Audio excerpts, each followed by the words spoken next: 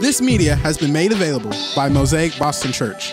If you'd like to check out more resources, learn about Mosaic Boston in our neighborhood churches, or donate to this ministry, please visit mosaicboston.com.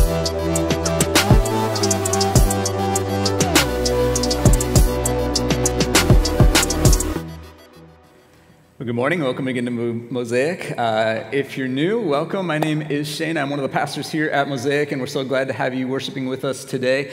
Uh, we would love to connect with you while you're here. The way we do that is through the connection card. Hopefully, you grabbed one of those on the way in. Uh, if you did, you can fill that out for us and uh, give us some information about yourself. On the back there, you can also check off to receive uh, more information uh, from us, or if you're watching at, at, home online, you can also fill that out on our website. But if, if you do, we'd love to just follow up with you this week, uh, send you some information about Mosaic, and also just send a small gift to you in the mail to thank you for being with us uh, today. And if you are just joining us, uh, we are currently going through a sermon series on Matthew 5 through 7. This is uh, the Sermon on the Mount.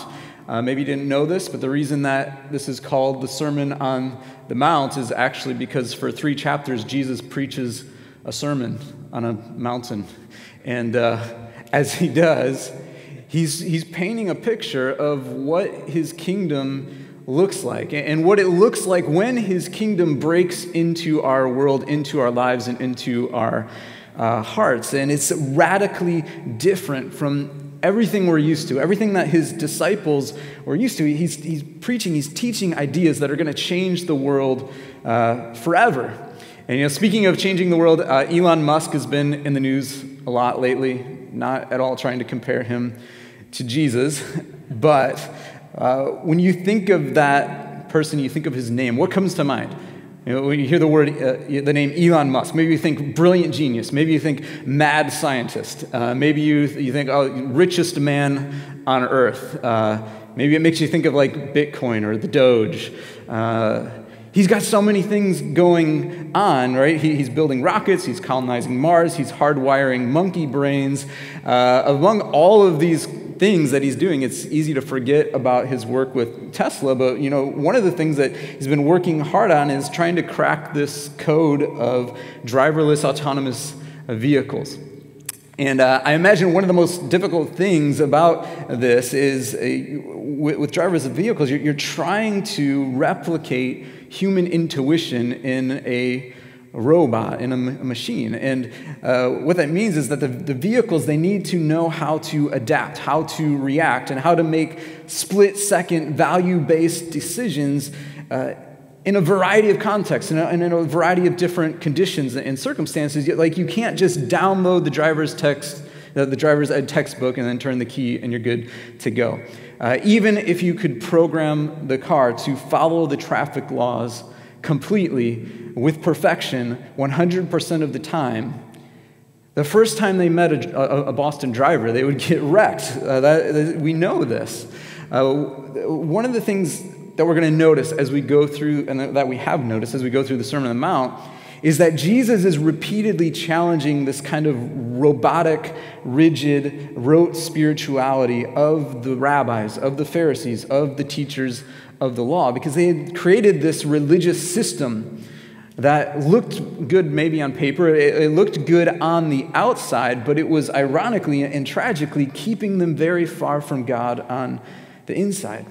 Right? They, they developed kind of an almost textbook uh, relationship with God, uh, a strict adherence to the letter of the law, which on top of that, they had kind of started adding their own traditions, their own rules, and yet none of it was enough something still wasn't right because in real life they were still getting wrecked. When it came to the actual purpose of the law and the spirit of the law, they were a danger to themselves and they were a danger to everyone else around them. And, so Jesus is very critical of these teachers, of these Pharisees. We see this over and over. Uh, in, in, Matthew 15, Jesus was speaking of the Pharisees when he said uh, this Matthew 15, 8, that this people honors me with their lips, but their heart is far from me.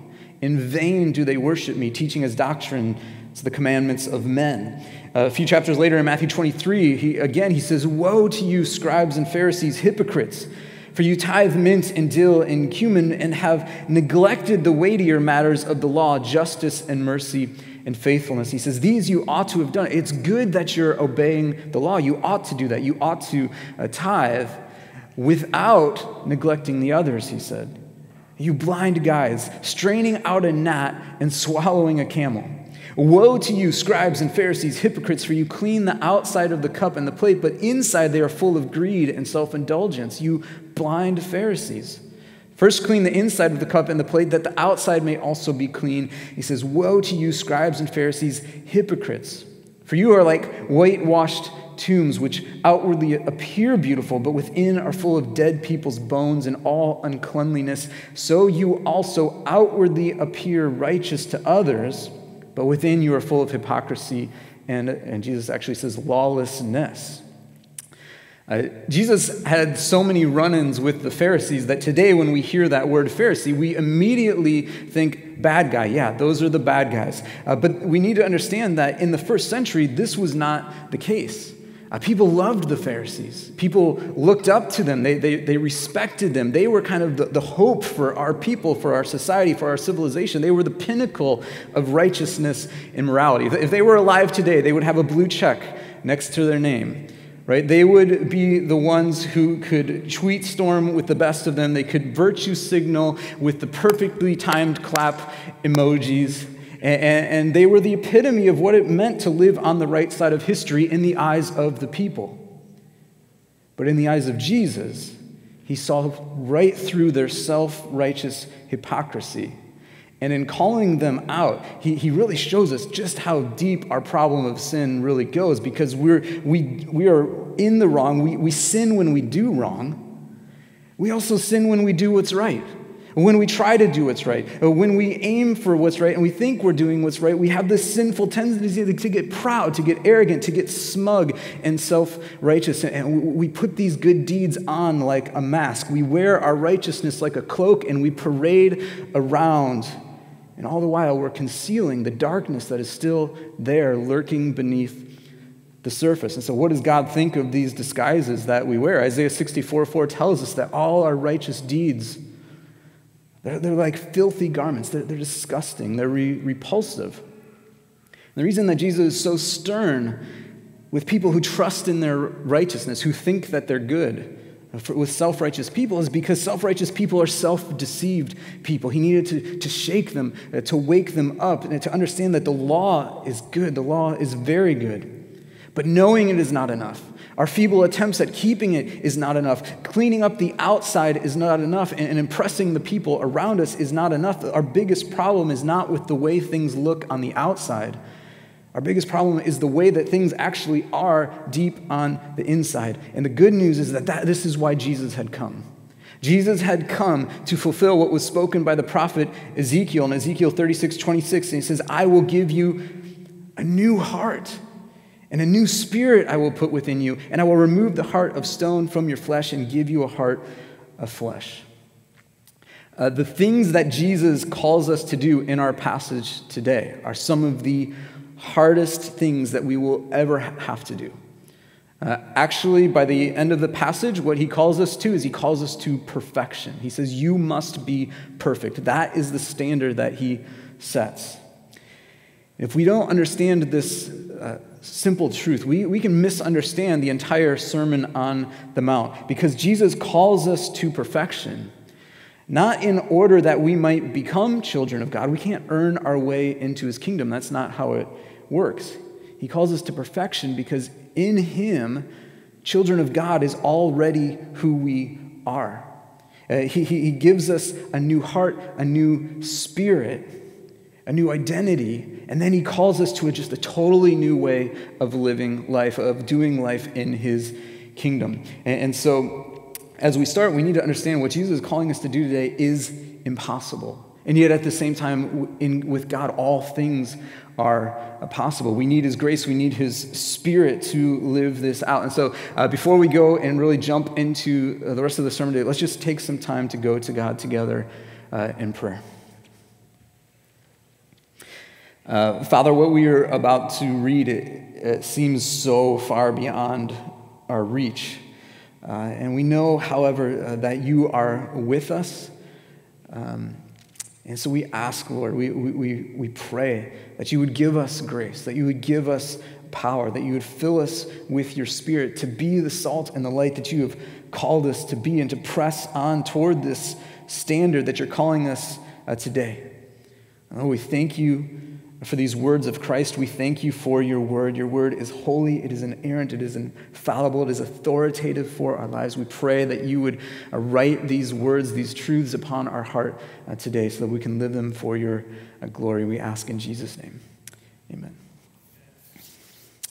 All right, uh, we're actually going to be looking at uh, three small passages today, and, and, with that, we're going to be looking at three uh, points in the sermon today. And so, what we're going to see is that citizens of Jesus' kingdom are called to humble integrity. This is Matthew 5, 33 through 37.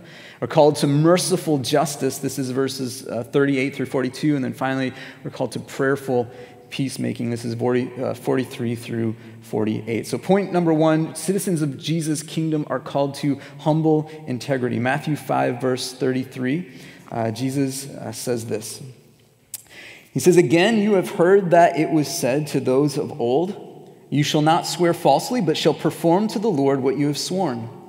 But I say to you, do not take an oath at all, either by heaven, for it is the throne of God, or by the earth, for it is his footstool, or by Jerusalem, for it is the city of the great king. Do not take an oath by your head, for you cannot make one hair white or black. Let what you say simply be yes or no. Anything more than this comes from evil.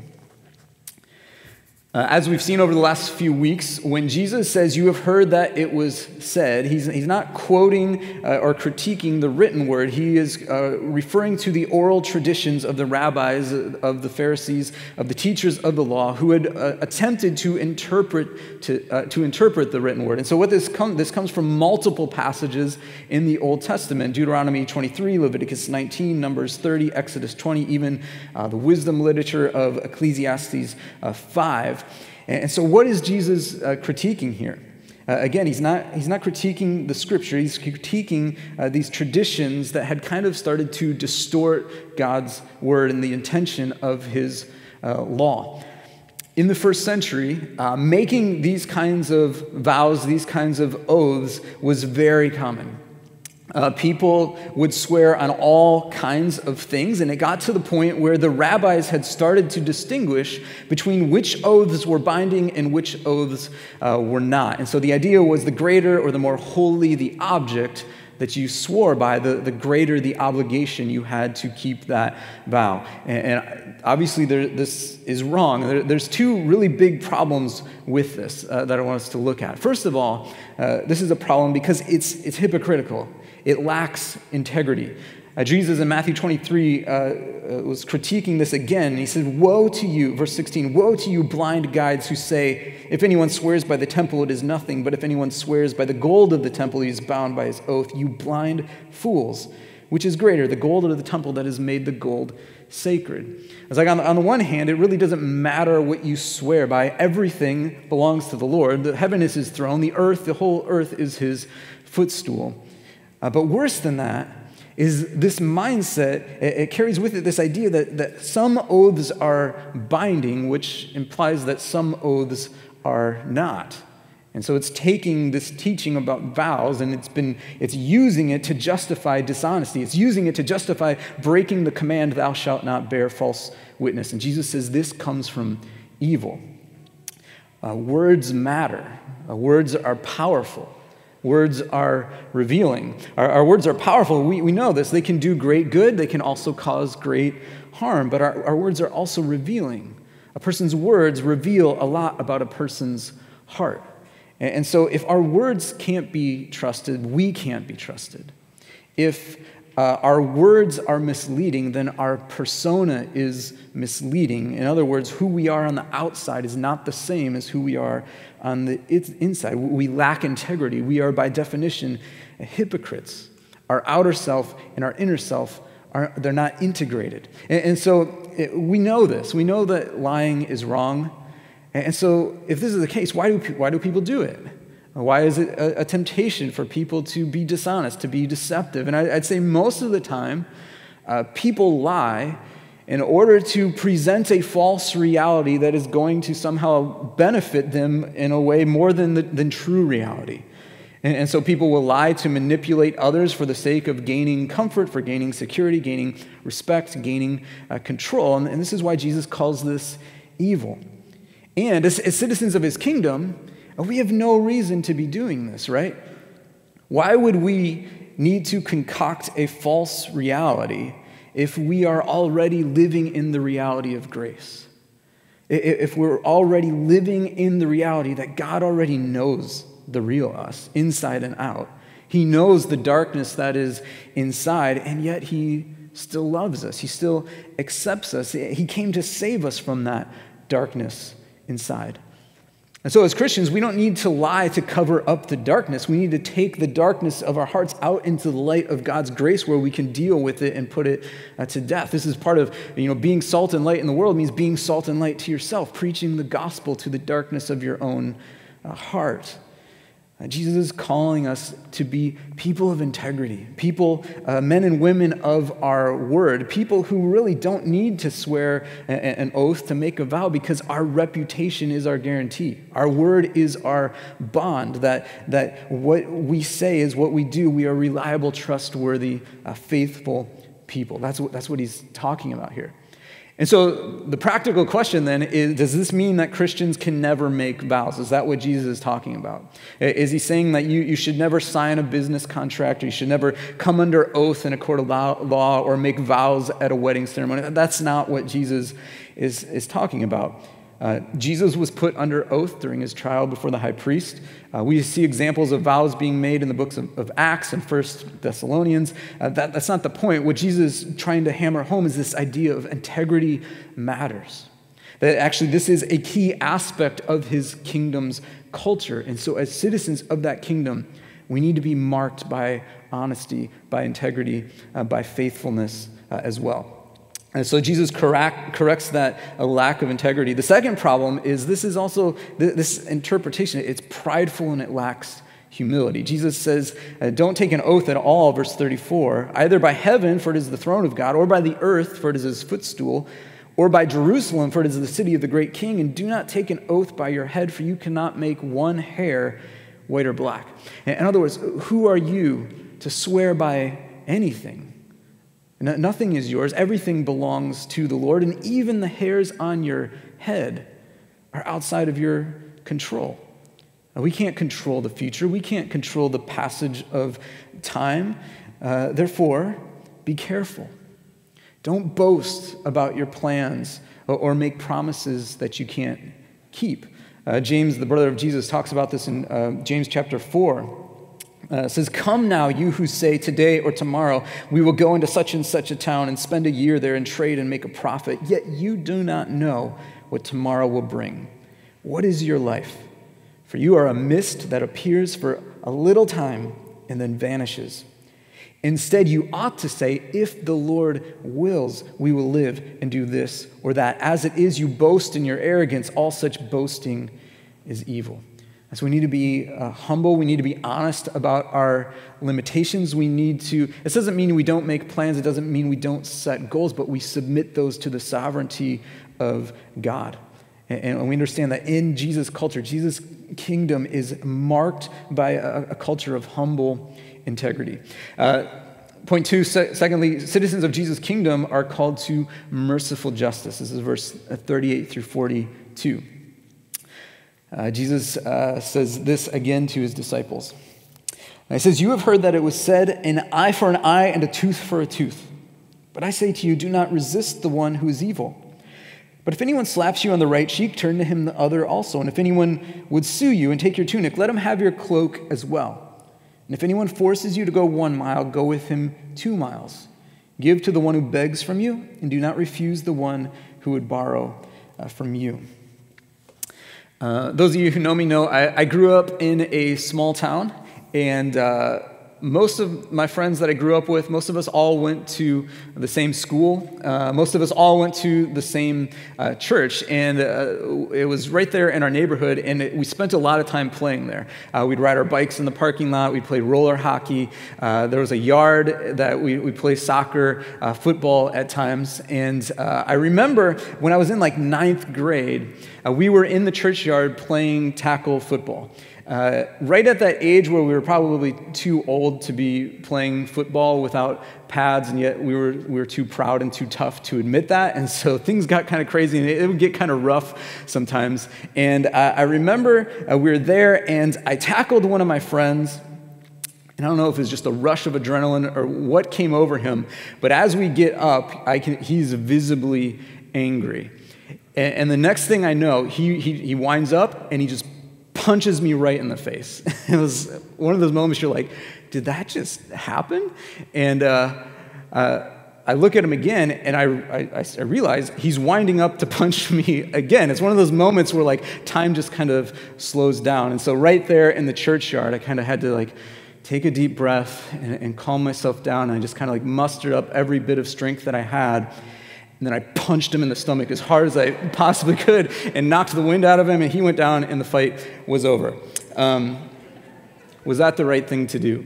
Um, first of all, in my defense, as the wise sage Mike Tyson once said, Everyone has a plan until you get punched in the face. You never know what you're going to do in a situation like that. Also, we were teenage boys, which meant by the end of the game, we were, we were friends again. It was not a big deal. Uh, but is Jesus saying that it is never permissible for a Christian to defend themselves? Is, is he saying that Christians need to be total, you know, pacifists, uh, doormats to injustice, that we should never take a stand against evil or come to the defense of the innocent? Should I have just let my friend keep wailing on me? Until he got that all out of his system. When I first became a Christian, I thought that's what Jesus was talking about here. Now, I don't think that anymore. Uh, but before we kind of get to what Jesus is saying, I think it might be helpful to kind of clear up what he's not saying. Because if Jesus is commanding absolute pacifism, if he's, if he's prohibiting self defense in every uh, situation, that it poses a couple of problems. Uh, and first of all, one of the problems that it, poses is this would appear to uh, contradict other uh, passages of Scripture and even uh, other examples from Jesus' own uh, life. And so, did Jesus ever use force to accomplish a goal? He did. On at least one, possibly two occasions, Jesus went into the temple and he said, I'm here to flip tables and whip fools and I'm all out of tables. And he made a whip and he started chasing people out of the temple. This was premeditated use of force, and, but it was not sinful. Um, now, uh, some will argue, yeah, but he was, he's, Jesus is God and his judgment is perfect and it's his, his, temple, and so that doesn't apply to us. And I would say, yeah, that's actually a fair uh, argument. But there are other scriptures that we would need to consider as well. Um, to be a consistent pacifist would require us to apply that not only to individuals, but to police, to governments, to uh, militaries, and, and that would be a very clear contradiction of Scripture. This is made clear for us in Romans 13.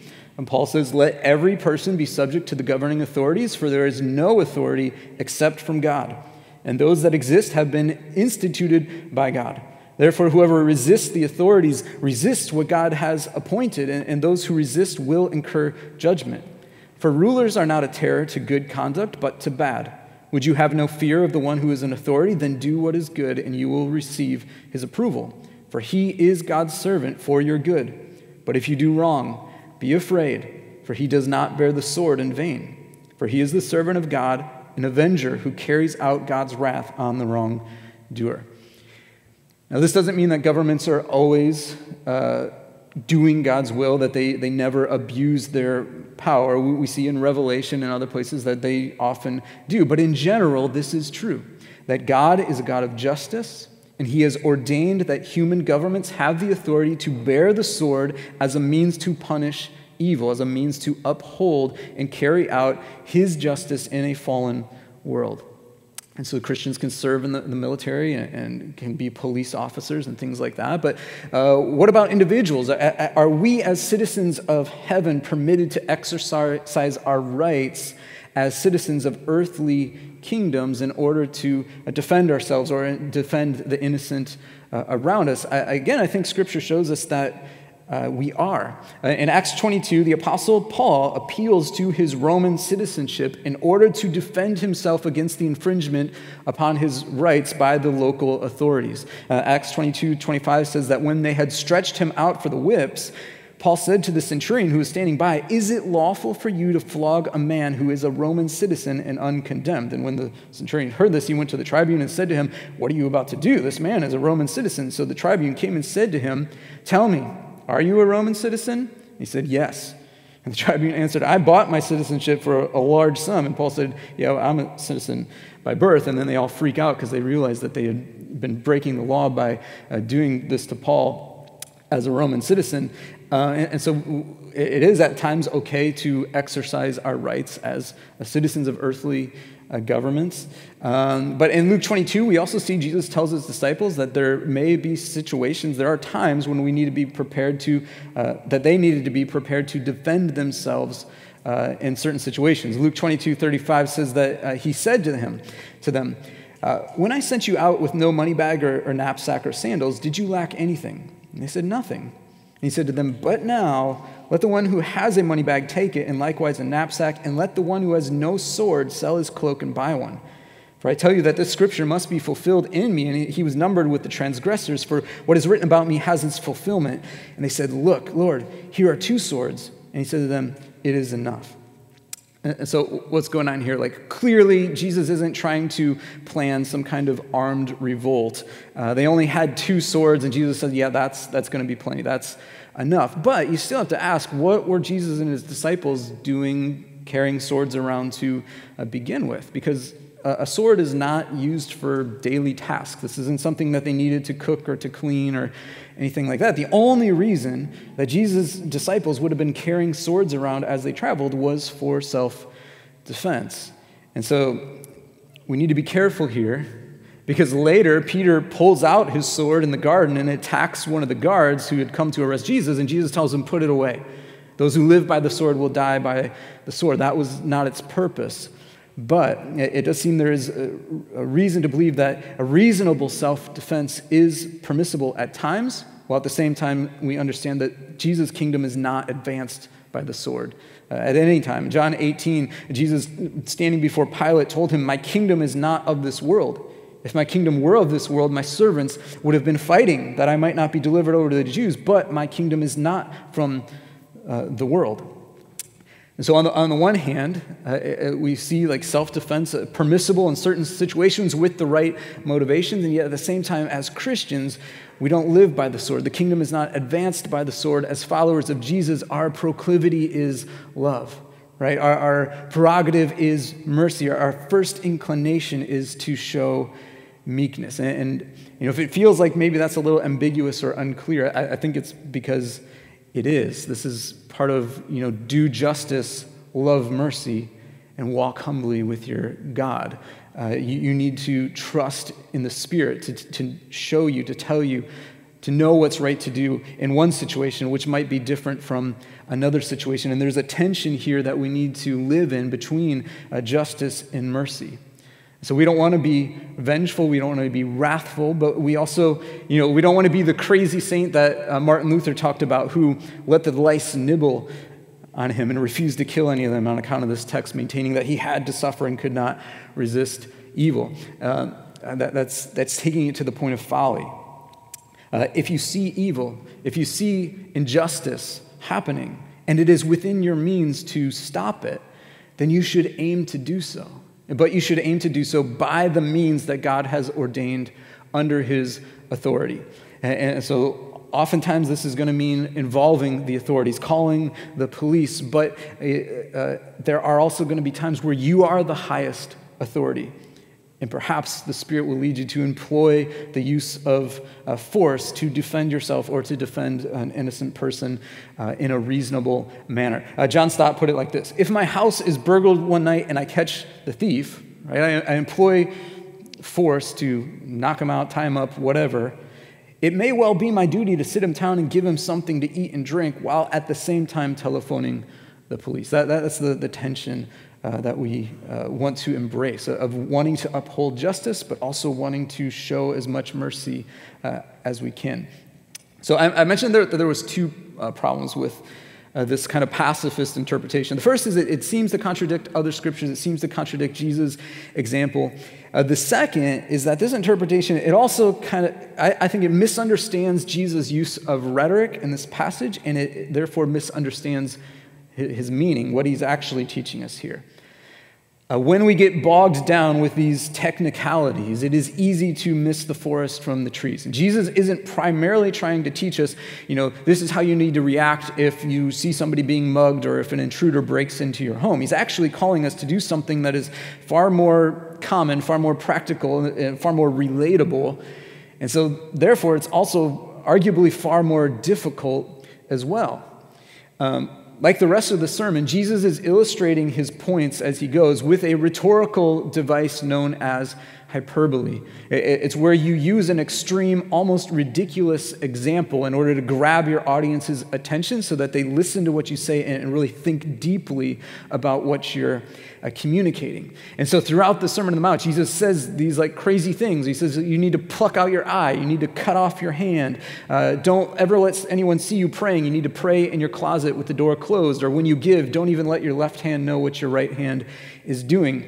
Um, if we take these things literally, uh, we miss the point of what Jesus is talking about. And, and, these things don't actually solve the problem that Jesus is talking about either. But when you understand what Jesus is saying, you, you know what he means, right? We need to take what he's saying seriously. We need to check our hearts and, and give thought to what he is saying because it's important. And so when we look at this text, and Jesus tells us to turn the other cheek, when he tells us to go the extra mile, uh, the point is not to start arguing about, you know, how do we rigidly apply this to extreme hypothetical situations that we're likely never going to face. The point is, you know what he means. And in real everyday life, when someone insults you, when someone takes advantage of you, when you feel that you have been used or slighted or wronged or make, made to look the fool, do not retaliate. Don't throw more fuel on the fire. Uh, react, and as much as you can, react mercifully. React in a way so that as much as it depends on you, you're able to respond in a way that de escalates that situation, that puts out that fire in order to leave room for redemption, to leave room for reconciliation, and to make uh, peace. In our flesh, this is not what we want to hear. This is not what we want to do. Our normal sinful response is to get angry, say, that's not fair, to lash out, to try to even the score, retaliate, get our revenge, an eye for an eye, a tooth for a tooth. Uh, but this is not how things work in Jesus' kingdom. Uh, Paul in Romans 12, uh, 17 through 21, he tells us this. He says, Repay no one evil for evil, but give thought to what is honorable in the sight of all. If possible, so far as it depends on you, Live peaceably with all. Beloved, never avenge yourselves, but leave it to the wrath of God, for it is written, Vengeance is mine. I will repay, says the Lord. To the contrary, if your enemy is hungry, feed him. If he is thirsty, give him something to drink. For by so doing, you will heap burning coals on his head. Do not be overcome by evil, but overcome evil with good. And so when a friend betrays you, when a peer insults you, when a coworker throws you under the bus, when you feel like your boss is taking advantage of you, uh, when your neighbors are being just totally inconsiderate, when someone's wronged you, you, you can, when you feel like slandering them, when you feel like flaming them on Facebook and canceling them on Twitter and, and just totally uh, executing them uh, socially, you need to remember who you are. You are a sinner, and you are a sinner who has been saved by grace. You're a sinner who has been saved by grace and called to be salt and light in a dark and twisted world. That we, as followers of Jesus, we are called to be radically and sacrificially generous with the mercy that we extend to others because God has been radically and sacrificially generous with the mercy that He has extended uh, to us.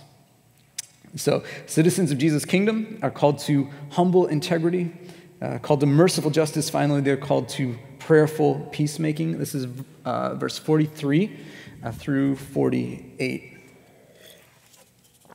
And Jesus again said, You have heard that it was said, uh, You shall love your neighbor and hate your enemy.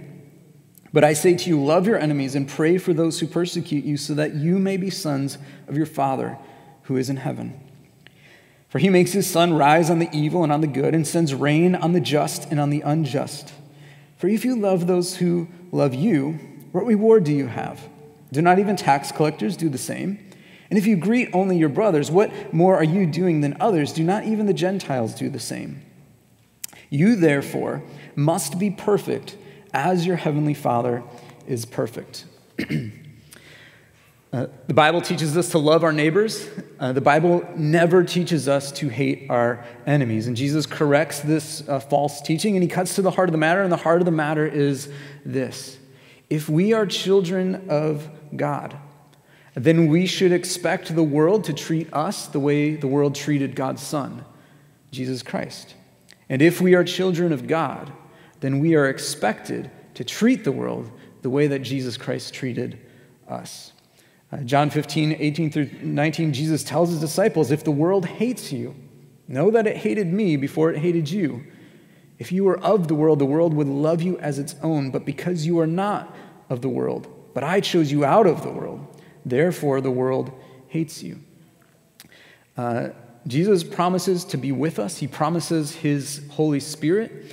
Uh, but Jesus never promises us health or wealth or comfort or power or influence or success in this life. What he does promise us is this John 16 33, he says, I have said these things to you that in me you may have peace. In the world you will have tribulation. But take heart, I have overcome the world. He promises us peace, he promises us victory. And he also promises that before the victory, there will be tribulation. Following Jesus will be And we should expect that the world is going to treat us the way the world treated Jesus, but Jesus expects us to respond uh, to them the way he responded to us. And how has Jesus uh, responded to us? We see this in Romans chapter 5. Paul writes in verse 6 that while we were still weak, at the right time, Christ died for the ungodly. For one will scarcely die for a righteous person, though perhaps for a good person one would dare even to die. But God shows his love for us, in that while we were still sinners, Christ died for us. Since therefore we have now been justified by his blood, much more shall we be saved by him from the wrath of God. For if while we were enemies, we were reconciled to God by the death of his Son, much more, now that we are reconciled, shall we be saved by his life. More than that, we also rejoice in God through our Lord Jesus Christ, through whom we now have received reconciliation. Um, this command to, to love our enemies, to pray for those who persecute us, this is the, one of the most radical, extreme things that Jesus uh, ever commands us to do. Uh, but when Jesus commands us to love our enemies, when he tells us to pray for those who persecute us, he, he's not commanding us to do anything that he himself hasn't already done for us. He was betrayed, beaten, mocked, and he turned the other cheek. He went the extra mile. He gave us the shirt off his back. Right? He took our ragged, filthy, soiled garments and put them on himself. And in exchange, he clothed us with the robes of his own righteousness. He loved us while we were yet his enemies. And as he hung on the cross, he prayed for his persecutors Father, forgive them. They know not what they do. The perfect, sinless Son of God laid down his life so that enemies of God could become sons and daughters, acquitted, forgiven, reconciled, made new, and adopted into the household of God. And now, as God's children, we are called to do the same to love our enemies, to pray for their salvation, uh, and to understand we were once enemies of God who have been reconciled to him through the blood of Jesus Christ. And that's what we want for them as well. Uh, Jesus concludes this, this uh, section of the sermon so far uh, with this uh, command in Matthew uh, uh, in verse 48. It says, You therefore must be perfect as your heavenly Father is perfect. He says, The standard that I'm calling you to is perfection.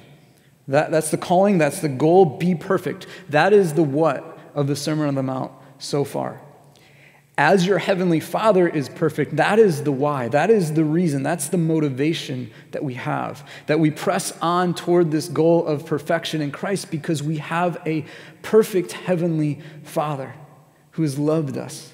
And just like any child, we want to be just like our dad when we grow up. This is what God is like. This is what our King, his son, Jesus Christ, is like. And this is what we want to be like as well. So, uh, if you're here today and you're not perfect, welcome to the club. Uh, you need Jesus. Repent. Put your faith in him. If you're here today and you are perfect, you are a self righteous liar and you really need Jesus. And, and, and, repent, put your faith in Him uh, today. And, and understand the, the bad news is bad. You are bad. You are really bad. You're worse than you really even know. And there's absolutely nothing that you can do to make things right with God. Your good deeds are never going to be enough to outweigh the bad. The good news is that's not the way you enter the kingdom of heaven. From the very beginning of the sermon, Jesus made it clear, Matthew 5 3, and he said, Blessed are the poor in spirit, for theirs is the kingdom of heaven. The way into God's kingdom, it is not, it doesn't be, you don't begin a right relationship with God by appealing to a list of righteous deeds and qualifications. Uh, you begin with a contrite heart, with a broken spirit that acknowledges your weakness and cries out to God for help. Uh, scripture tells us if you repent, if you turn from your sin and put your faith in Jesus Christ and call on his name, that you will be saved, and you can do that uh, today. Uh, if you want to do that today, we would just ask that you would come and, talk to us. We would love to talk to you about that. We would love to pray for you. Come find us after the service, or you can mark that on your connection card, and we'd love to just uh, follow up with you this week and, talk more about what this means and what the next steps to following uh, Jesus would be. And with that being said, would you please join me in prayer, and we'll spend some more time in worship together.